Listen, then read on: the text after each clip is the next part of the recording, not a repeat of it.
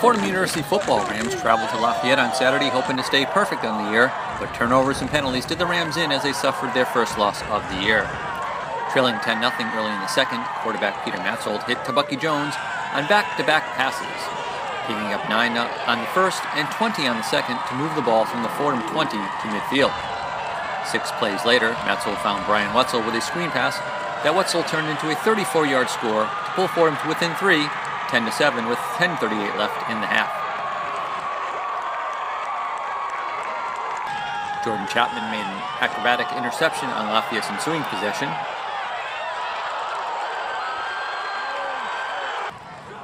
And Carlton Koonce seemed to have picked up 21 yards on the first play following the interception, but the play was called back by a holding penalty.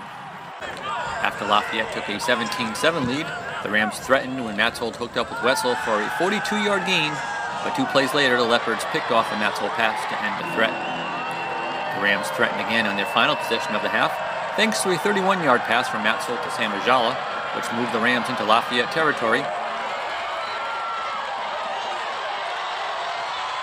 And then a 21-yard completion later in the drive to Wetzel that would have brought the Rams inside the 20, but the play was called back by a penalty.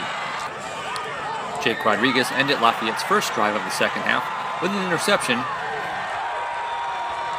but the Rams couldn't take advantage of the turnover, and the Fordham defense was back on the field, where DeAndre Slate was able to get his hands up in the air and deflect a pass attempt. Late in the fourth, Dan Light took a short pass, pass from Matzold and broke a couple of tackles to gain 21 yards.